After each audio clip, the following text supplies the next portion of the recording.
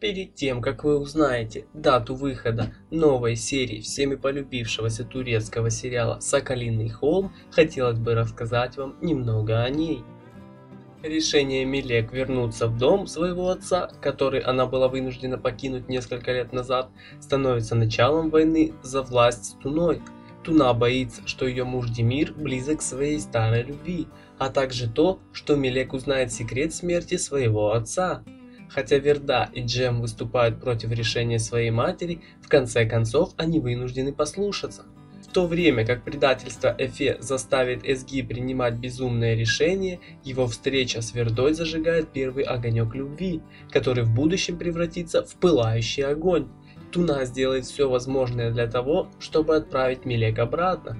Когда она сделает свой первый шаг, чтобы загнать Милек в болото долгов, большая ошибка Джема дает ей еще одну большую возможность.